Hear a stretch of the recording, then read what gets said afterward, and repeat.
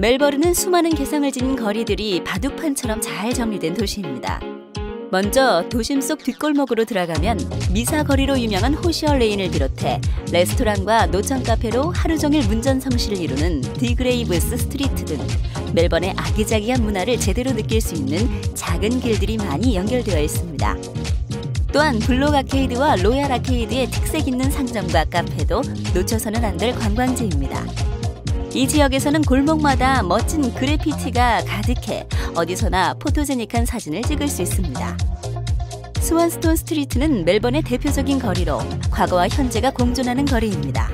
대형 백화점들이 위치해 있는 버크 앤 리틀 버크 스트리트는 개성 넘치는 멜번 패션의 중심지로 젊은 층에게 인기가 많은 곳이기도 합니다. 엘리자베스 스트리트와 빅토리아 스트리트가 만나는 곳에 위치한 퀸 빅토리아 마켓은 안 파는 것이 없을 정도로 다양한 물건을 판매하고 있습니다. 시내 북쪽에 위치한 브런즈윅 스트리트는 대표적인 보헤미안 거리입니다.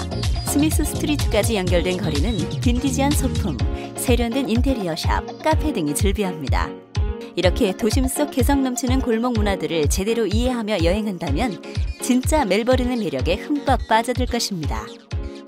밤을 잊은 도심 속 루프탑 바에서 칵테일을 한잔하며 멜번에서의 하루를 로맨틱하게 마무리하는 것도 즐거운 추억이 될 것입니다.